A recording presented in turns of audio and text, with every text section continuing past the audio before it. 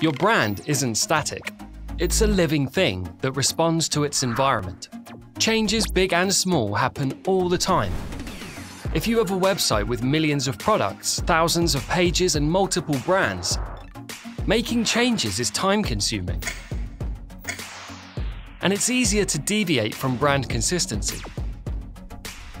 Over the years, a beautifully designed website can, well, turn into a bit of a Frankenstein. There's an easier way, a way that's designed to be flexible and consistent from the very beginning. It's called atomic design. It uses atoms, molecules, and organisms to create something completely adaptable, helping your website to flourish. Atoms are the most basic components, the building blocks, things like buttons, fonts, and search fields. When atoms come together, they form molecules.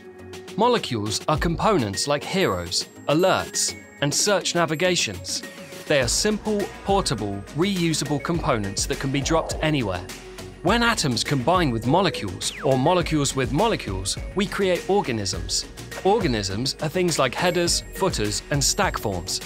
They make your website more engaging and easier to use. So, how does this work in practice? Well, here are three separate atoms. They don't do much by themselves, but combine them into a molecule and suddenly it can do something. We can search.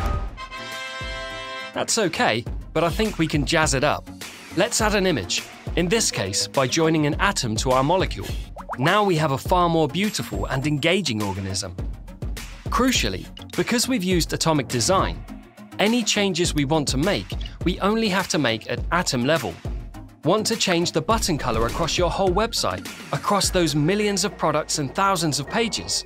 It only takes one change, one little atom, and everything updates. Organisms are sections of a website, but they need something to hold them all together. Templates are the glue. A template is a home for organisms. We can see how components look and function together. For example, we can take our search organism and apply it to a homepage template. We can try it out and move it around. We can also set some standards, like image size, so even when the content changes, this standard stays the same. Finally, that brings us to pages. Pages show us the interface with real content. So, we've taken a small and rather abstract atom and built up to a concrete web page. This is what users see and experience. Now we can test the design. Does everything look great and function as it should?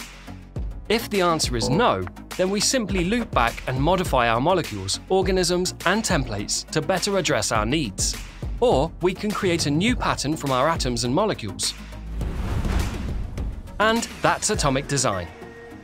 It's atoms, the smallest UI elements, that make up molecules, the doing components, that make up organisms, the sections of an interface, held together by templates, the glue, to finally create pages, what the world sees.